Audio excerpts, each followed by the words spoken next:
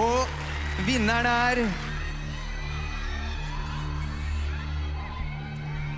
Aurora! Allerede som 17-åring satte sanger og låtskriver Aurora Aksnes tydelige musikalske spor etter seg. Hun ble raskt plukket opp av internasjonale plateselskaper og omtales som et sensasjonelt talent. Her vinner hun sin aller første Spellemannpris.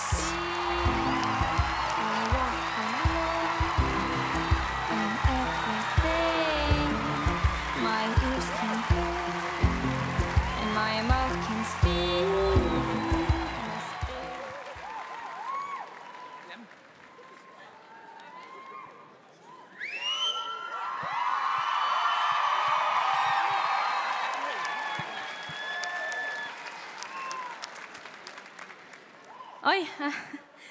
Takk. Oi, eh, jeg hadde ikke trodd at jeg skulle begynne, så jeg har ikke forberedt noen ting. Um, men tu tusen takk. Så gøy.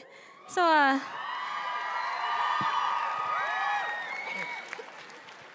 Men tusen takk til Made Management og min manager eh, Geir, som fant meg for lenge siden.